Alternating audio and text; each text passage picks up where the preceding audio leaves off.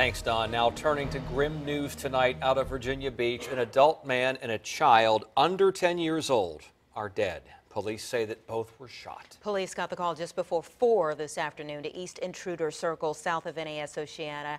And 10 on your side's Brett Hall is just back from the scene with what else we know about this investigation, Brett. Police are giving very little information into what occurred this evening. However, what they do tell us, no suspect is being searched for.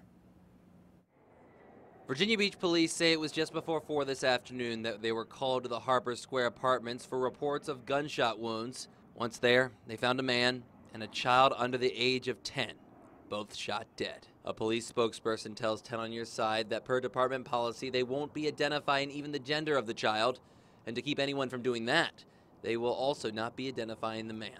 All that they would say is that both lived in the apartment they were found in, both knew each other, and no suspect is being searched for. There was no information on what might have led up to the shooting or if anybody else witnessed it. The questions left unanswered caused confusion for longtime resident of the apartment complex, Ashley O'Neill. I mean, I always tell my kids, like, just even when you do know the people in the neighborhood, like, you always just have to be aware of your surroundings.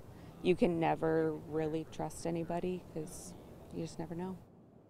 And police want to reiterate this was an isolated incident. Reported live in the newsroom, Brett Hall, 10 on your side.